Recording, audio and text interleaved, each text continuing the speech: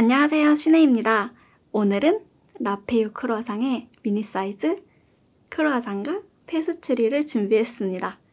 맛있게 먹겠습니다.